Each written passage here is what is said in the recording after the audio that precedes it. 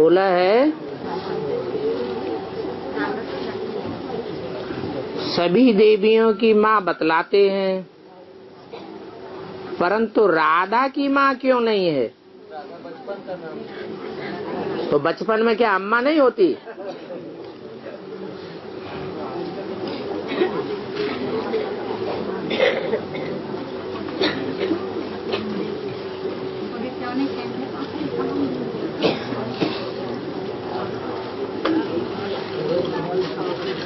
जैसे बोला कि कृष्ण का बहुत गायन है, परंतु कृष्ण के माँ बाप का इतना गायन नहीं है।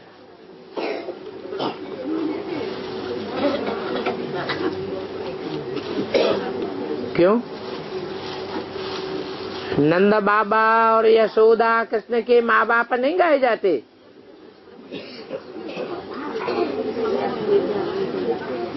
गाए जाते हैं कि नहीं? परंतु वास्तव में यशोदा और नंद बाबा तो उनको जन्म दाता बाप नहीं है।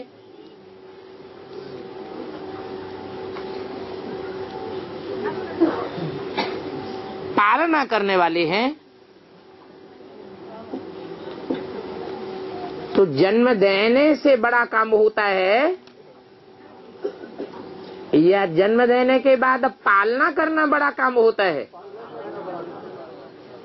इसलिए पालना करने वाले माँ बाप का गायन है। जन्म देने वाले माँ बाप का गायन नहीं है।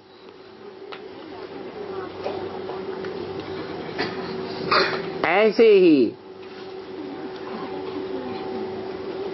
राधा को जिस माँ ने जन्म दिया और जिस माँ ने पाला,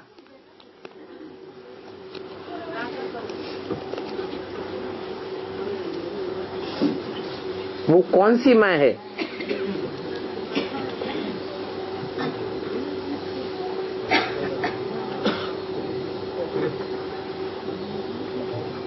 आज्ञाकारी है या अवज्ञाकारी माँ है?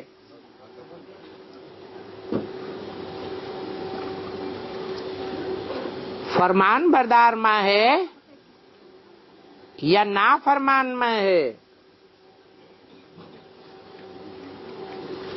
वफादार माँ है या बेवफा माँ है?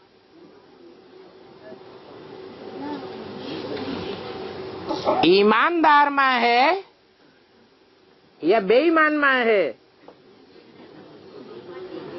हैं? राधा की माँ। ईमानदार है। हाँ आपने सपने में देखा कि साक्षात्कार में?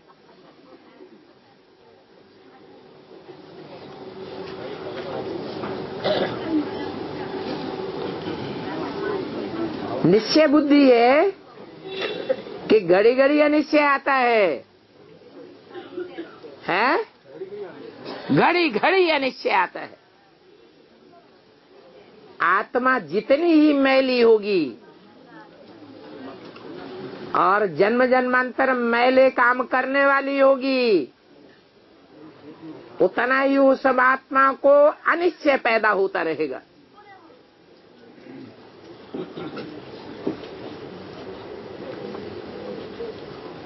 तो राधा कहो है।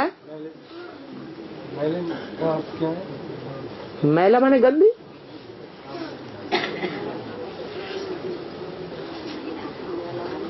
क्या बोल रहे थे?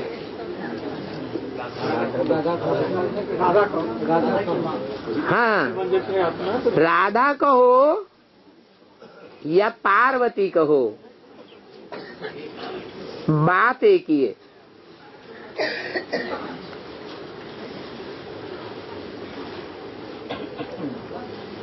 पार्वती के माँ का नाम क्या है? वो तो फिर भी प्रसिद्ध है।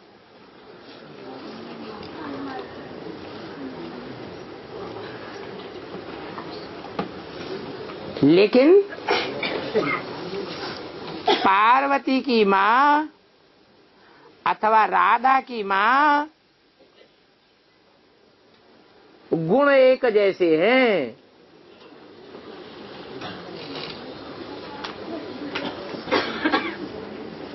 पार्वती की माँ का नाम क्या दिखाते हैं शास्त्रों में? मैं ना ये काम करो मैं ना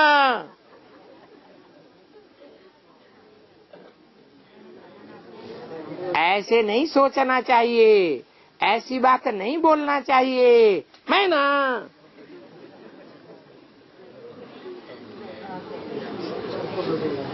तो नाफरमान हुई, अवज्ञाकारी हुई, या फरमान बरदार और आज्ञाकारी हुई?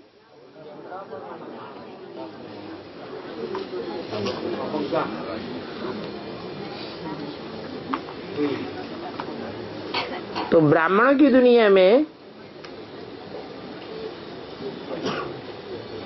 क्योंकि राधा की माँ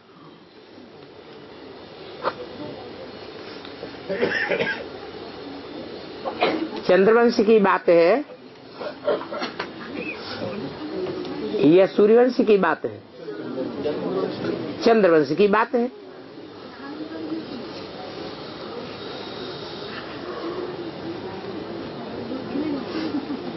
राधा की माँ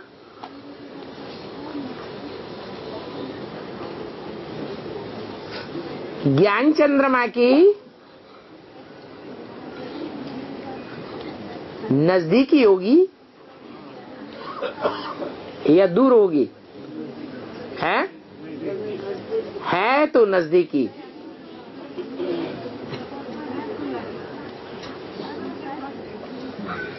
परंतु दिल से नजदीकी है यह दिमाग से नजदीकी है?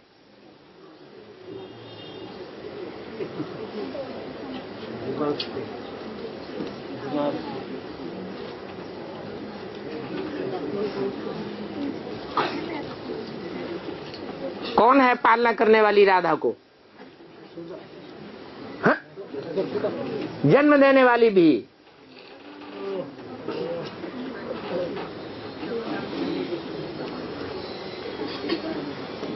यशोदा राधा की माँ नहीं होती है। है? राधा को पालना कर देने वाली भी है, जन्म देने वाली भी है। दोनों है। क्या नाम बताया अभी? मैना। तो उसका गायन होगा? पार्वती की माँ के रूप में गायन है। लेकिन राधा के रूप में, माँ के रूप में कोई गायन नहीं है।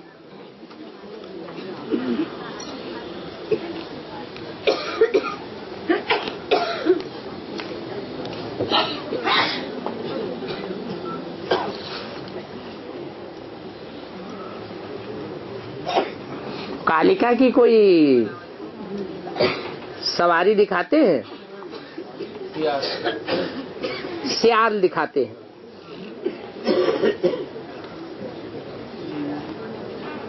सियाल क्या करता है? क्या आवाज़ करता है? हुआ हुआ हुआ।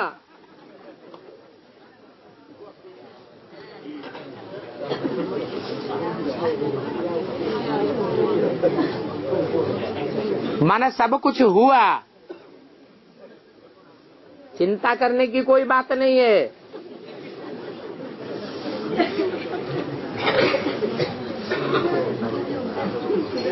ऐसा कुछ नहीं है जो नहीं हुआ। जैसे माताएँ होती हैं तो शिकायत करती हैं।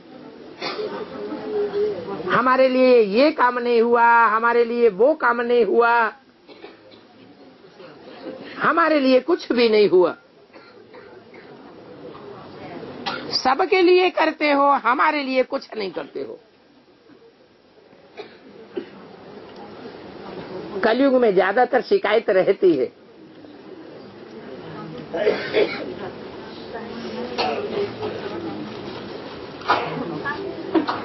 और गौरी माँ सतयुग में होती है या कलयुग में होती है? सतयुग में होती है, गौरी माँ। और कलयुग में होती है? काली माँ। तो काली माँ जिसके ऊपर सवारी करती है, उस सवारी का नाम दिया है क्या? श्याल।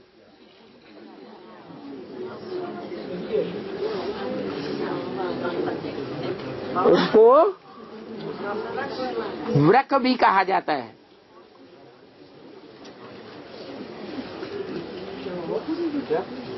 व्रक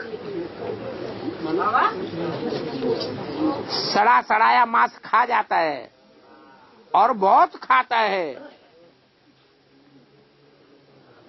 क्या? मांस माने दे अभिमान।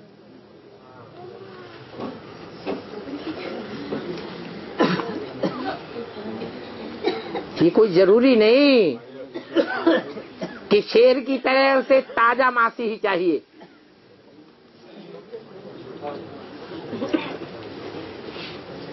शेर दूसरे का किया हुआ शिकार खाता है, बासी मांस खाता है या ताज़ा खाता है? श्याल कलयुगी है या सतयुगी है? वो कलयुगी है।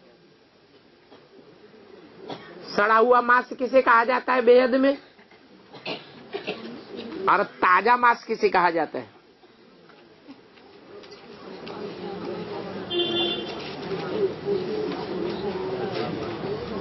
जो अब भी विचारिणी होती है, वो है ताज़ा मांस।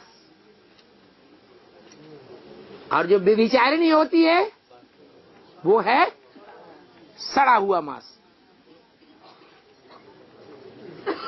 विचारिणी में बदबू भी बहुत आती है।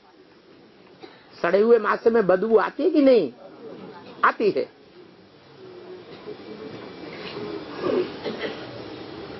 तो सियाल सड़ा हुआ मांस भी खा लेता है। और थोड़े से नहीं, भूख शांति होती है। क्या? बहुत चाहिए।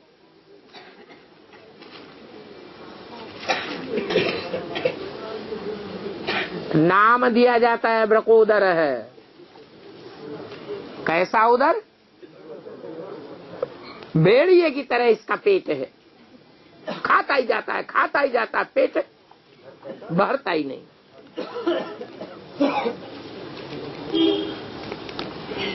तो ऐसों पर सवारी करती है। कौन? काली माँ।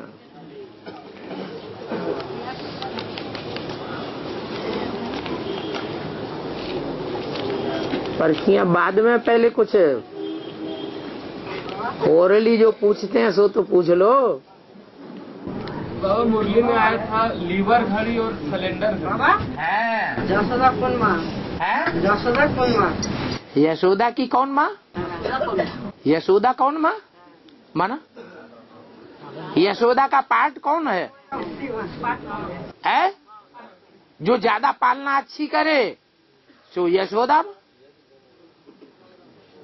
यश देने वाली को क्या कहते हैं? यशोदा? अरे, शास्त्र में जो भी शब्द हैं, वो अर्थ सहित हैं या निरर्थक हैं? जैसा काम वैसे नाम है। तो नाम ही है यशोदा। क्या दा यश दिया। अपयश नहीं दिया। एक शब्द भी ग्लानी का नहीं दिया। क्या दिया? कीर्ति दी। अपकीर्ति नहीं दी। यश दिया। अपयश नहीं दिया। ऐसी कोई बात नहीं कही, ऐसा कोई कर्म नहीं किया। ऐसा कोई संकल्प मात्र भी नहीं चलाया। असली माँ जो होती है, वो अपने बच्चे का अपयश चाहती है क्या? कभी नहीं चाहते। तो नाम है यशोदा और छोटी माँ छोटी माँ ये। है जी छोटी माँ है। जो भी हो।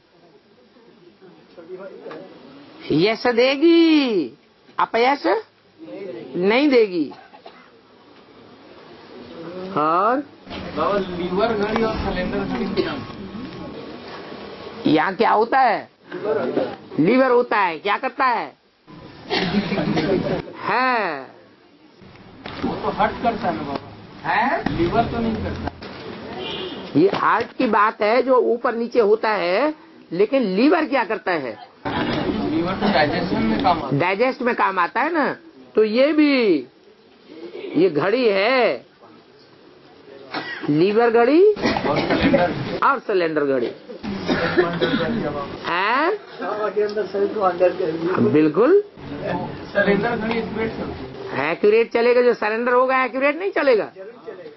मन को बुद्धि को तन को धन को समय को संपर्क को संबंध को सब कुछ अर्पण कर दिया। जैसे बाबा चलाए वैसे चले। तो एक्यूरेट चलेगा? लीवर को चाबी देना पड़ता है। कि जितनी चाबी दोगे उतना चलेगा। और हैं? महाभारत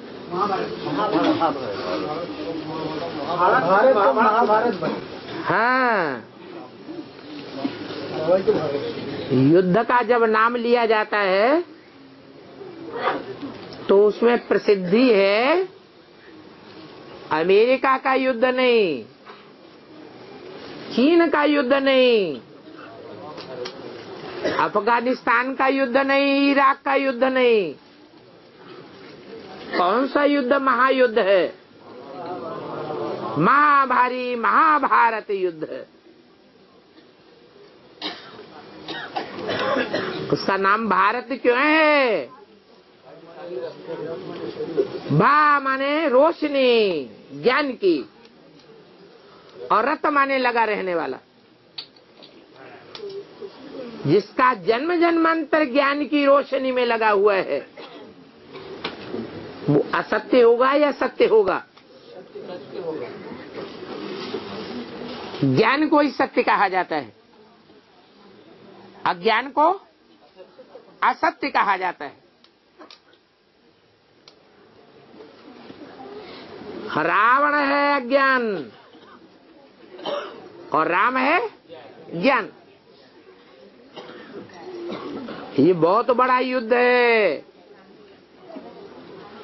भारत के जो भी शास्त्र हैं, उन शास्त्रों में इसी महाभारी महाभारत युद्ध का वर्णन है।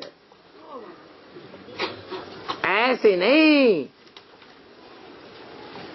कि महाभारत युद्ध में ही महाभारत का गायन है, युद्ध का वर्णन है। जो देवासुर संग्राम है उसमें भी यही वर्णन है। इसी समय का वर्णन है। ज्ञान और अज्ञान का युद्ध है। सत्य और असत्य का युद्ध है। देह के मनन चिंतन मंथन में जो लगे रहते हैं, वो अज्ञानी है। आत्मा के मनन चिंतन मंथन और पोषण में जो लगे रहते हैं, वो ज्ञानी है।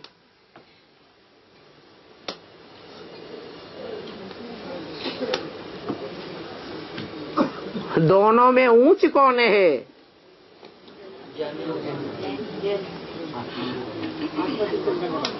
लेकिन दुनिया में ज्ञान का पोषण करने वाले ज़्यादा हैं या पाँच तत्वों रूपी अज्ञान का पोषण करने वाले ज़्यादा हैं। तो बहुमत किसका है? तो ये युद्ध हो जाता है। पाँच पांडव एक तरफ़ और सौ कौरव एक तरफ़ और उनके सब फॉलोअर्स और जीतता कौन है? पाँच पांडव जीतते हैं।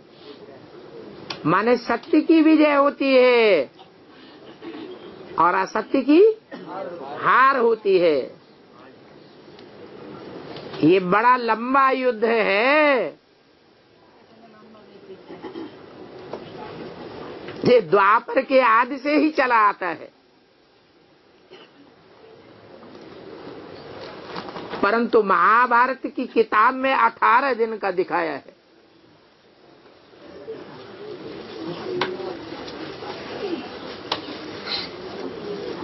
तो तीव्र युद्ध भी कुछ होता होगा। तो जो तीव्र युद्ध होता है, उसकी यादगार बनी हुई है। और तो अठारह महारथी होते हैं। महारथियों की मृत्यु का टाइम भी तो अलग अलग है, एक है। अलग अलग है। अठारह का देखो कितना महत्व है। अठारह पुराण।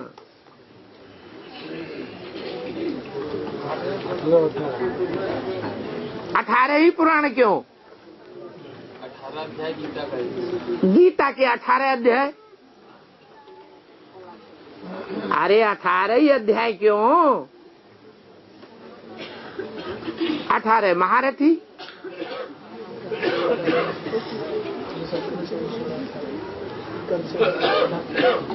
संगम युग में भी अठारह अठारह का बहुत महत्व है।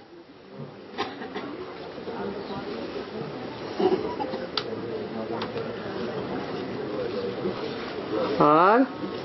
बाबा मोर तामर में अठारह मानव कौन है है?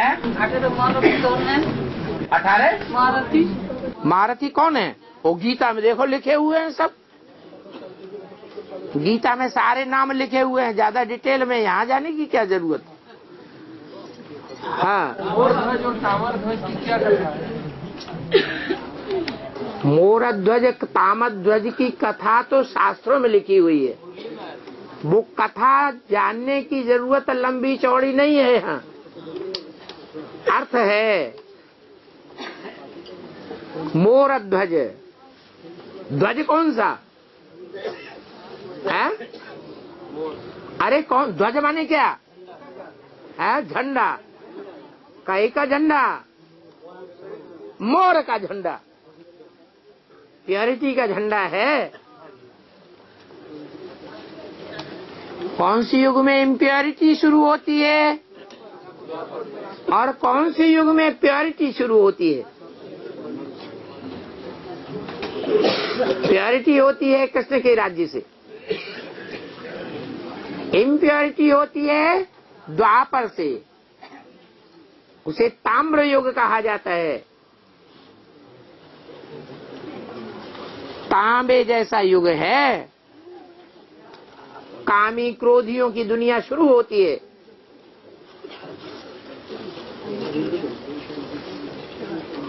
उनमें जो अव्वल नंबर है, उसका नाम दे दिया ताम्र, ध्वज। हाँ?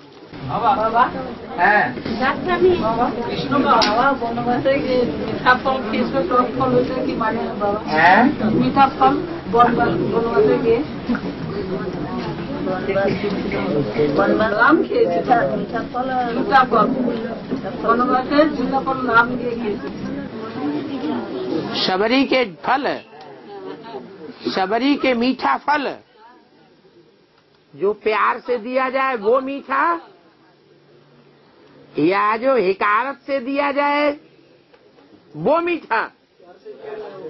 जो प्यार से दिया जाए वो ही मीठा। अरे झूठा तो है, लेकिन प्यार से दिया है।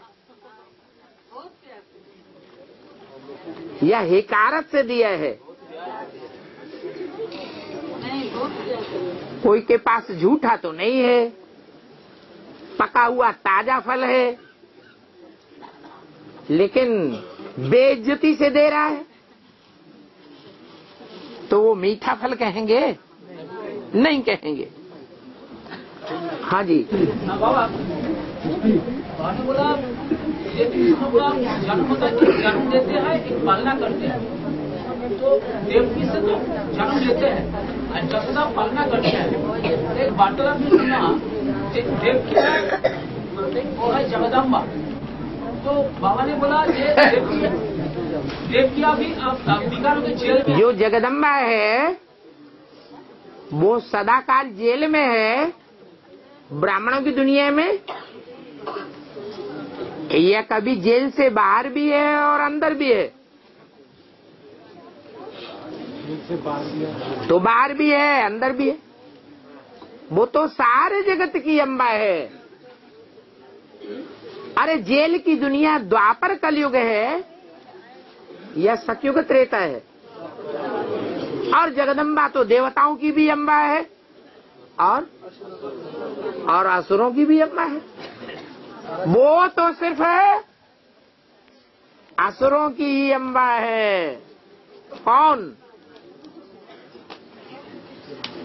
जिसका नाम तो दे दिया है देवकी, लेकिन रहती जेल में है।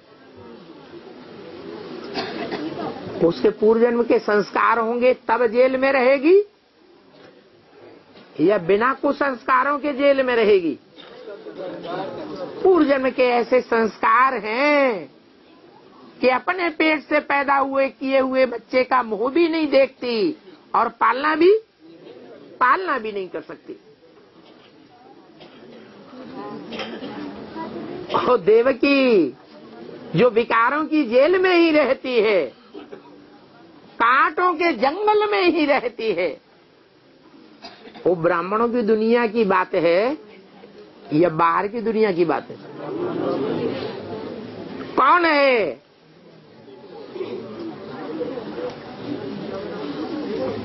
जो एडवांस के आदि से ही कांटों के जंगल में चली जाती है। और कांटों के जंगल में ही फलती फूलती है। अभी भी कांटों के जंगल में है। है? कौन है? अरे यहाँ माता की बात हो रही है। हाँ। काली तुलसी। कहाँ फलती फूलती है। कांटों के जंगल में ही फलती फूलती है।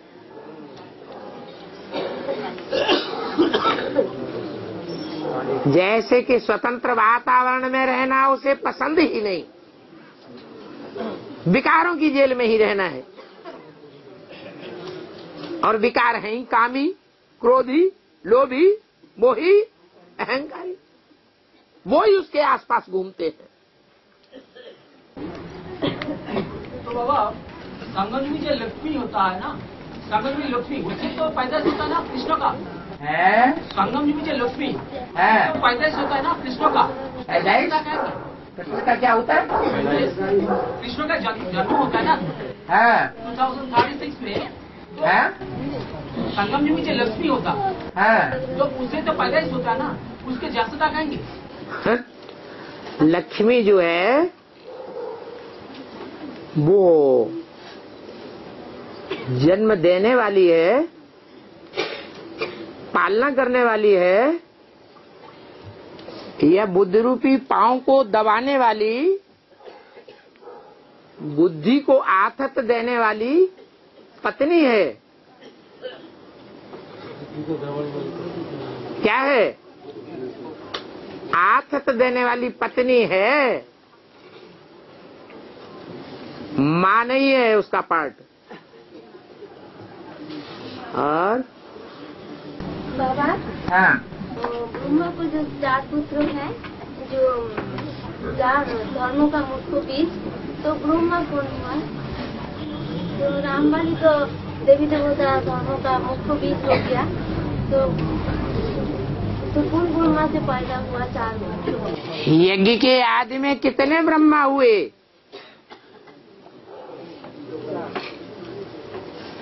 यज्ञ के आदि में कौन कौन आत्माएँ थी? जगदम्बा जगत पिता दादा लेख राज ब्रह्मा,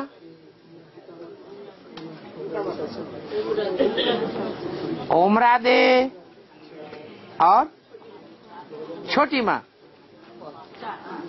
पाँच हो गए। पाँच ब्रह्मा के मुख में से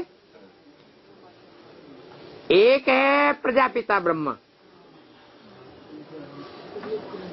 जो गाली देने लग पड़ता है, जब तमो प्रधान होता है तो। इसको भगवान को भी गाली देता है। तो उसका मुख क्या किया जाता है?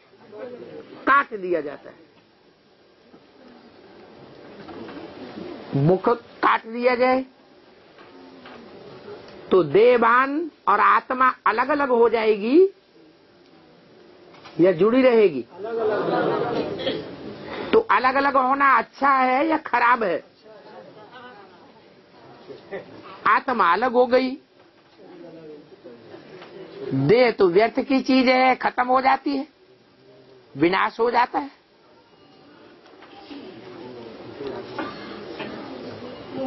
तो ब्रह्मा पाँच हैं, पंचानन कहा जाता है। आनंद माने मुख। चार ब्रह्मा, चतुरानन कहा जाता है।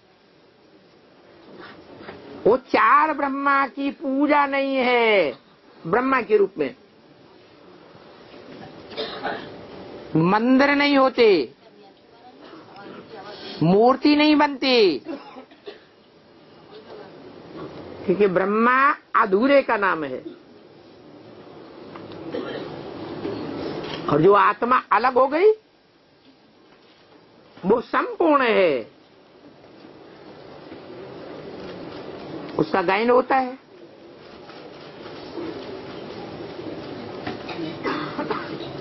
तो जो पाँच ब्रह्मा हैं, वो यज्ञ के आदि में ही प्रत्यक्ष हो जाते हैं।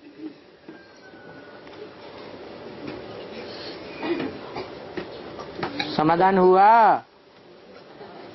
है? और?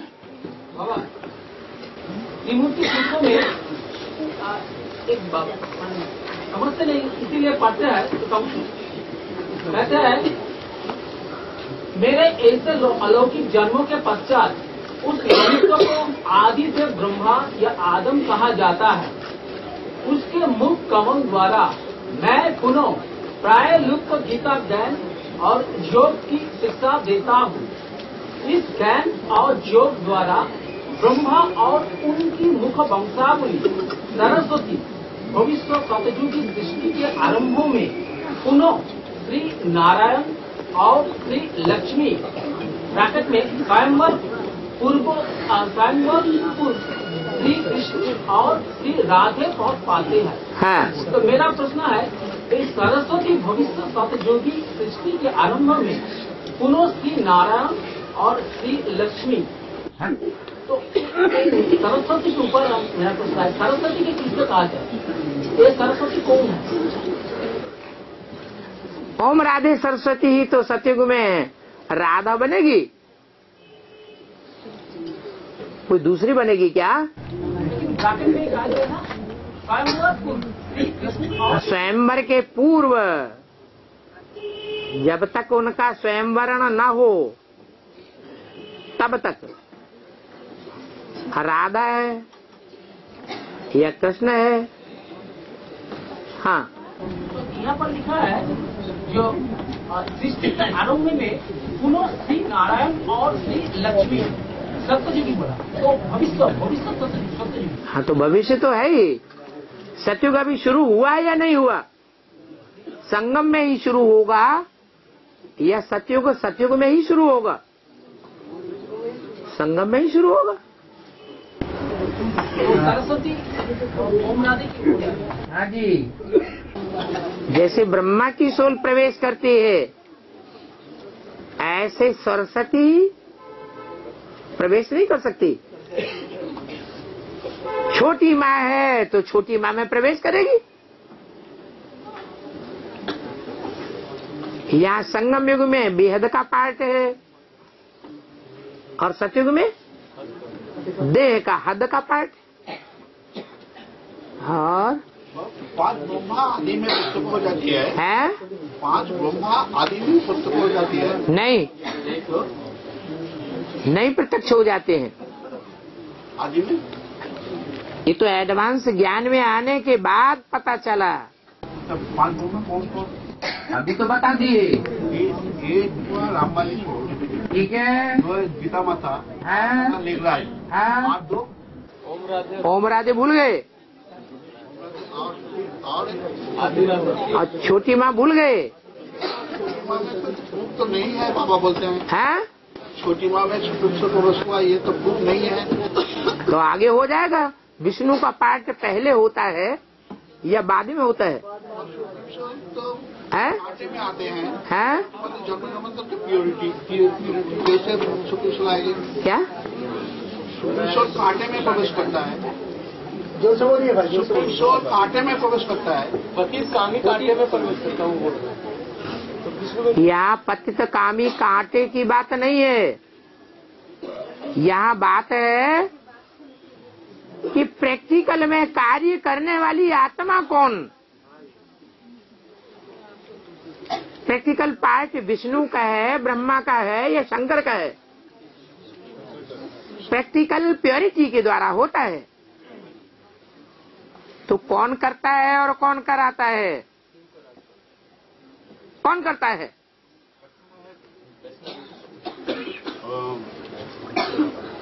छोटी माँ। छोटी माँ वाली आत्मा करती है? तो तिरसठ जन्म में पीछे क्यों नहीं कर लिया? प्रैक्टिकल पार्ट प्योरिटी का। जो संसार का कल्याण हो जाता है। ब्रह्मा की आत्मा में ही अगर सहन शक्ति भरी है ब्रह्मा वाली आत्मा ही सहनशील है तो तिरसठ जन्मों में सहनशील बन के क्यों नहीं दिखा दिया? सारी दुनिया को बाँध लेती सारे चंद्रवंशियों को बाँध लेती। ये सहन शक्ति का पार्ट दादा लेखराज ब्रह्मा की सूल में किसने बजाया? शिव ने बजाया। हम बच्चे कुछ भी नहीं करने लायक हैं हम तो तमो प्रधान हैं। करण करावन हार कौन है? बाबा है। और? बाबा। हाँ। राजरप्पा माँ किसको कहा जाता है? है? राजरप्पा किसको कहा जाता है? रजरत्था माँ। रजरत्था क्या है? रजरप्पा माँ राजरप्पा माँ किसको कहा क्या रजरप्पा।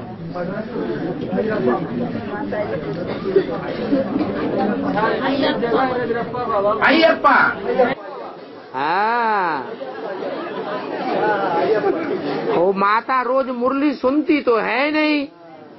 फिर वही बातें लेकर के सभा में माथा मारती है, यही बात हमको समझाओ।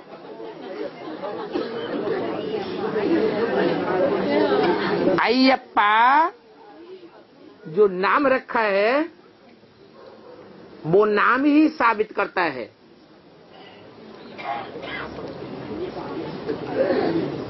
जिनके काले कपड़े होते हैं या सफ़ेद कपड़े होते हैं? काले कपड़े होते हैं। तो काले कपड़े वाले काले काम करने वाले होंगे या व्हाइट काम करने वाले होंगे? जन्म जन्मांतर जिन्होंने बहुत काले काम किए हैं। तो संगम युग में आकर के वो शूटिंग काले कामों की ही करेंगे या व्हाइट वर्क करेंगे? काले काम ही करेंगे। और जन्मों में तो एक गुना पाप चढ़ता है। और संगम युग में? सौ गुना पाप चढ़ता है। क्योंकि अंजाम कर लेते हैं। आगे जन्म में तो खून से भी लिख करके देते थे। इस जन्म में तो स्टाम्प पेपर पर लिख लिख करके देते हैं। अंजाम करते हैं, ये हमारा बाप है। और दुनिया को भी बखान करते हैं, हमारा बाप आया हुआ। और खुद ऐसे ऐसे काम करते हैं कि दुनिया वालों के दांतों में उंगली दब जाती है। अरे, ये कैसे भगवान के बच्चे? तो ऐसे ऐसे सौगुना पाप का बोझ चढ़ाने वाले कम पाप के भागीदार दंड पाने वाले बनेंगे या ज़्यादा सोटे खाने वाले बनेंगे? ज़्यादा सोटे खाने वाले बनते हैं। तो जब ज़्यादा सोटे लगते हैं तो ज़रूर मुँह से निकलेगा अयप्पा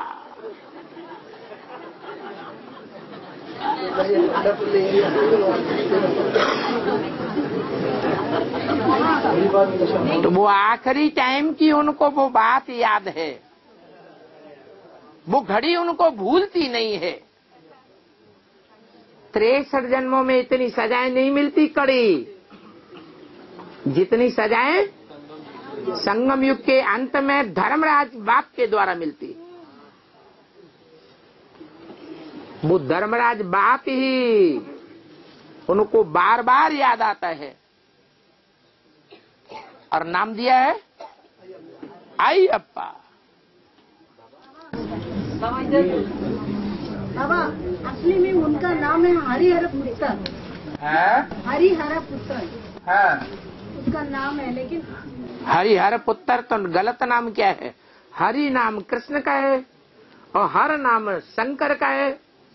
वो जगत पिता है, वो जगत की माता है। तो माता और पिता दोनों के पुत्र है, माने प्रजापिता ब्रह्मा कुमार कुमारी है। वो है भक्ति मार्ग के हरिहर पुत्र। और ये है ये है ज्ञान मार्ग के हरिहर पुत्र। और? की क्या कहानी है पहले इनकी कहानी सुन ले हाँ।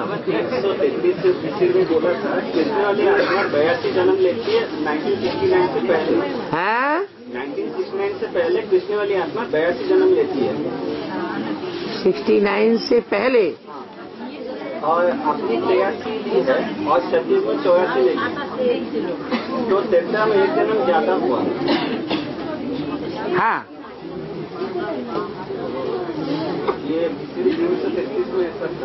अरे वो तो उन्होंने बेसिक नॉलेज की किताब में ही लिख रखा है।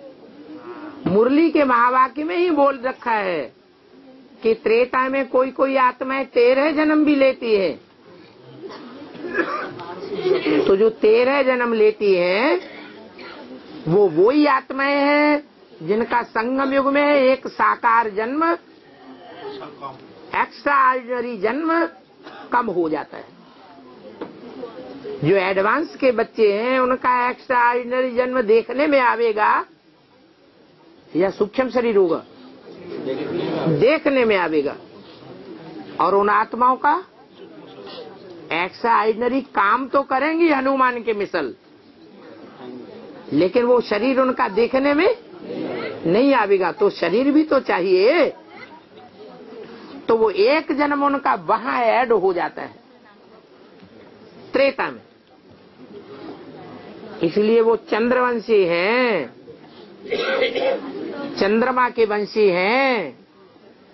चंद्रमा की बनाई हुई बताई हुई रीति भीति पर चलने वाले हैं। ज्ञान सूर्य की मुरलियों को उतना ध्यान देने वाले नहीं है।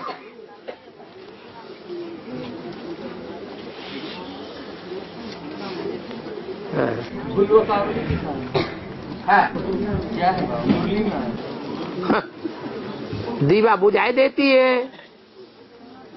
तुम दीवा बार बार जलाते हो। कौन सा दीवा है? ये आत्मा रूपी दीपक है। तुम बार बार याद करते हो आत्मा रूपी दीपक जगाते हो। और माया? माया दीवा बुझाई देती है।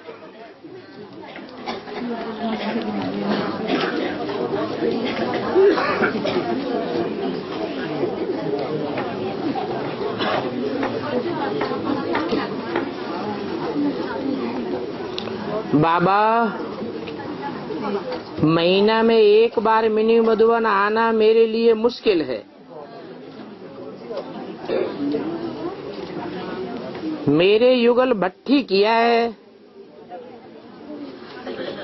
परंतु अभी ज्ञान में चलता नहीं, हमको आने देता नहीं। फिर पैसे का भी प्रॉब्लम है। क्योंकि युगल कमाई करता नहीं।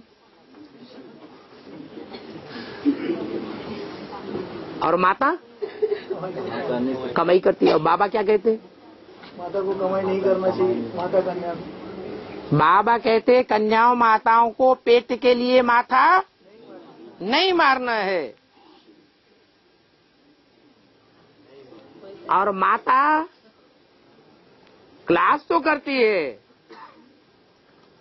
करती है या बोलती है, लिखती है। लेकिन बाबा की बात एक कान से सुन के दूसरे कान से निकाल देती है।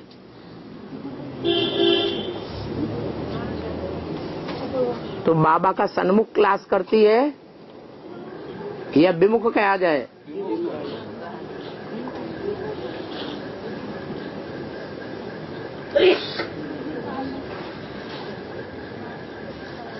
माता कहेगी, अगर मैं भी कमाई नहीं कमाऊँगी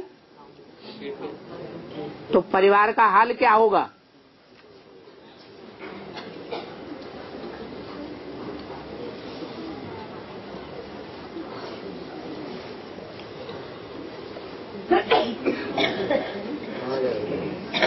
क्या ये जो भी परिवार श्रीमत के बरखिलाफ चल रहे हैं वो अंत तक उनकी पारिवारिक व्यवस्था बनी रहेगी, या वो परिवार टूट फूट के छिन्न भिन्न हो जाएँगे वो तो छिन्न भिन्न होने ही हैं। तो हम श्रीमत की बरखिलाफी क्यों करें? और श्रीमत की बरखिलाफी करने का भी कोई तो कारण होता है।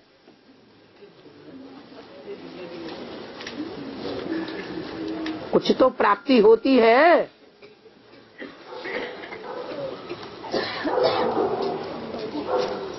प्राप्ति के बगैर कोई काम होता है क्या?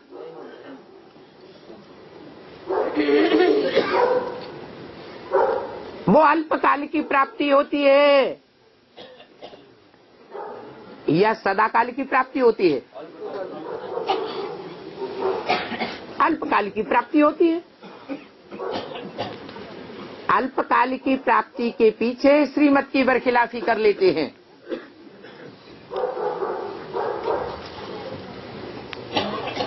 तो ये प्रॉब्लम आती है। पैसे की भी प्रॉब्लम है।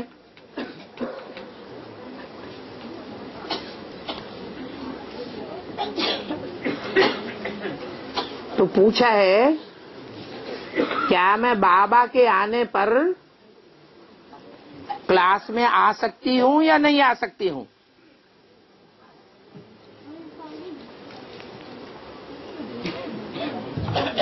मिनी मधुबन में जो संगठन क्लास होता है संडे संडे, उसमें भी मैं नहीं आ सकती।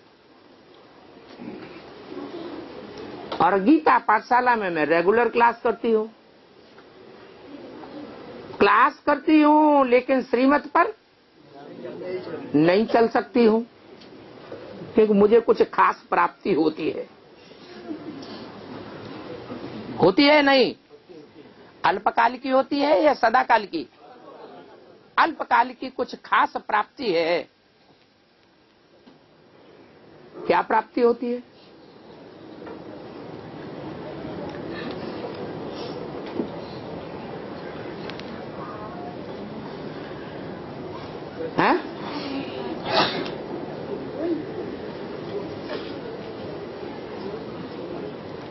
क्या प्राप्ति होती है। हैं? खाना पीना? जीवन भर हाँ अल्पकाल का सुख मिलता है। क्षणभंगुर सुख मिलता है। उसके पीछे बाबा के क्लास में आना भी भले बंद हो जाए। उसके लिए पैसा नहीं है। अरे बाबा तो कहते हैं, अगर बांधेली माताएँ हैं तो जैसे बाबा की क्लास में आ सकती हैं, दो महीने में एक बार। तो क्या महीने में एक बार संगठन क्लास अटेंड नहीं कर सकती? कर सकती। उसके लिए बांधेलापन। नहीं है। बाबा के क्लास में आने के लिए। है? बाबा के क्लास में आने के लिए बांधेलापन याद आ जाता है कि मैं बांधेली हूँ, इसलिए मैं क्लास में नहीं आ सकती।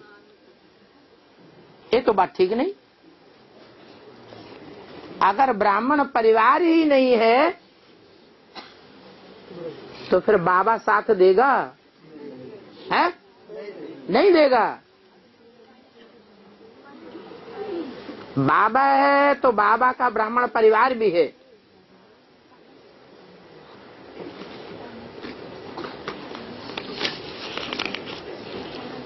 और दूसरी बात। बांधेली हूँ बांधेली हूँ। मुरली में बोला, ऐसा कौन कहती है? शेरनी शक्तियाँ कहती हैं या बकरियाँ, भेड़ बकरियाँ कहती हैं? शेरनी शक्तियाँ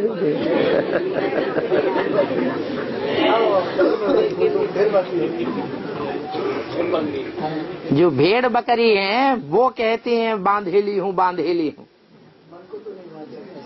नहीं तो लौकिक दुनिया में एक चरित्र बहुत प्रसिद्ध है माताओं का। कौन सा चरित्र? त्रिया चरित्रम से भाग्यम दैवो न जानाति कुतो मनुष्य। अरे त्रिया चरित्र से तो देवताएँ भी हार गए। तो ये पति क्या चीज़ है?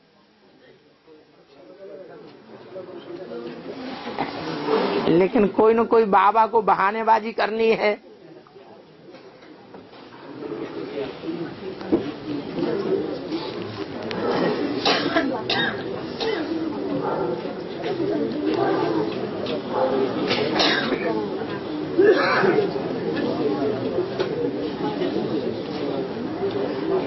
सेंटर में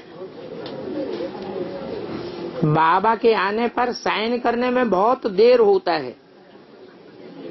समय ज़्यादा लग रहा है।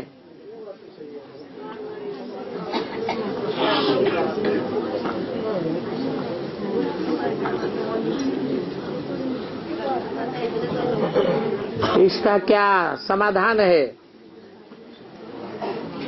इसका समाधान यही है कि ये भी एक सेवा है। कोई भाई ऐसा निकले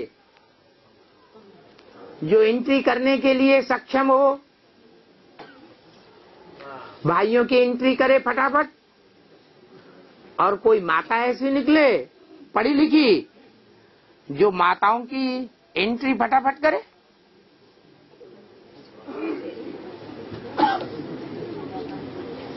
नहीं हो सकता क्या? फिर? बाबा बार बार पूरा एड्रेस लिखना ज़रूरी होता है। है? बार बार पूरा एड्रेस लिखना ज़रूरी होता है हर बार। टेलीफोन एड्रेस पूरा एड्रेस लिखा जाता है बार बार टेलीफोन तो लिखना इसलिए ज़रूरी कि आजकल मोबाइल में रोज रोज नंबर बदल जाते हैं। गाँव थाना तो नहीं बदलता बाबा। गाँव जिला तो नहीं बदलता। बाकी तो बार बार नहीं बदलता। जो एंट्री कराने वाला है वो इतना जानकार होना चाहिए परिवार का जो देखे कि ये पुराना है तो बार बार लिखाने से कोई फ़ायदा नहीं? ये तो ठीक और नया है तो लिखाना लाजमी है हाँ। है। बहन को अलग कर दीजिए भाई को अलग कर दीजिए। हाँ हाँ। माता को अलग कर ठीक है। अलग अलग रजिस्टर कर दो। कर दो कर दो।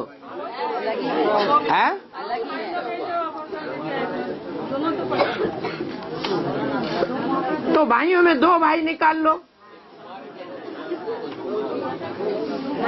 माताओं में दो माताएँ ऐसी निकल पड़े, जो अलग अलग एंट्री करे। उन्हीं उन्हीं कागजों को कागजों पे करो और उन्हीं कागजों को रजिस्टर में ऐड करते जाओ। सीरियल नंबर मत डालो।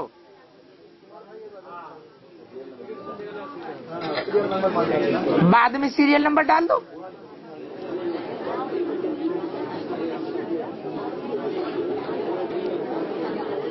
एक और समस्या पर्सनल स्थानीय कोई गीता पाठशाला नहीं है। घर में शक्ति भवन। मेरा चार भाई माता होता है। तो क्या भाई लोग क्लास कर सकते हैं? अरे जब घर के ही लोग हैं, परिवार के हैं तो क्लास क्यों नहीं कर सकते? आस पास का दो एक भाई भी आता है कभी कभी तो शक्ति भवन कहाँ रहा? वो तो गीता पाठशाला हो गई। इसमें बाधा क्या है? हैं? गीता पाठशाला मत छीनिए नहीं तो सब गिर पड़ेंगे तो कौन छीन रहा है? कभी कभी ऐसे बोलते हैं माता जी तो माता जी से तो बहस नहीं कर सकता है बोलते कि गीता पाठशाला कोई नहीं आता है कोई नहीं आता है आता तो है ही। हाँ।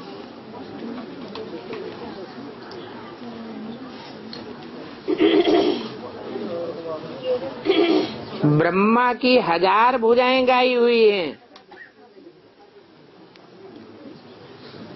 सहयोगी हज़ार भुजाएँ, क्या सोलह हज़ार के राज परिवार में से ही होंगी? या बाहर की साहूकार प्रजा भी एक हज़ार भुजा में आएगी?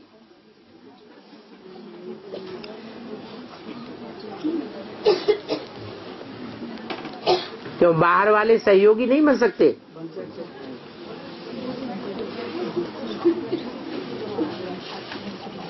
तो बाहर वाले भी आ सकते हैं?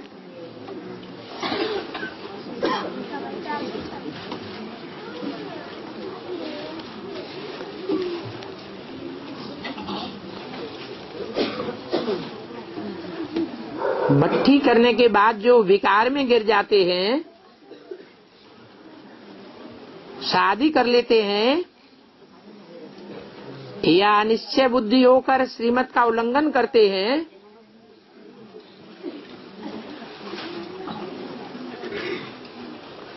फिर कुछ दिन बाद भूल को समझ करके लौट आते हैं, पश्चाताप करते हैं, और अच्छा पुरुषार्थ करने का प्रयास करते हैं। तो क्या उनका दास दासी का ही फिक, पद फिक्स होगा?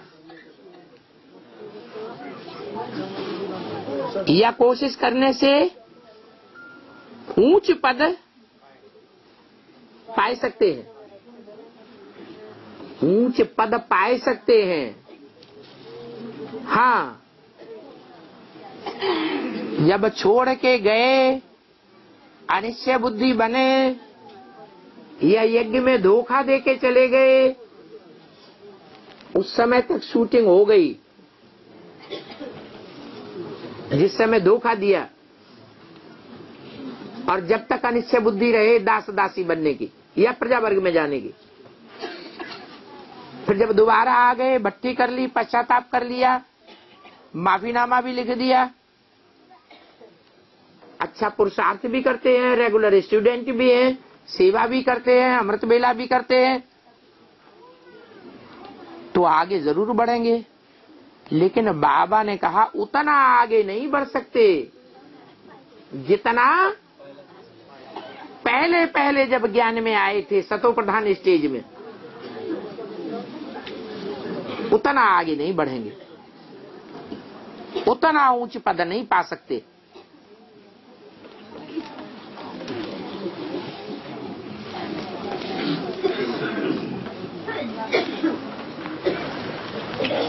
और? में क्या नाम नाम नाम दिया जाता नाम नहीं होता है तो राधा कृष्ण ये नाम नहीं है?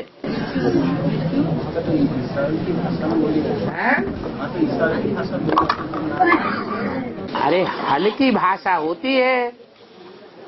ज़्यादातर कार्रवाई इशारे से होती है क्योंकि संकल्प सबके मिले हुए हैं। संस्कार सबके मिले हुए संकल्प और संस्कारों में कोई की आपस में टकरार होती नहीं है। इसलिए वाइब्रेशन से ही, इशारे मात्र से ही एक दूसरे की बात समझ लेते हैं। ज़्यादा नहीं बोलते। हाँ भाषा होगी, लेकिन हिंदी से मिलती जुलती भाषा होगी। और बहुत थोड़ा बोलेंगे। जो बाबा ने लक्ष्य दिया है, कम बोलो, धीरे बोलो, और मीठा बोलो।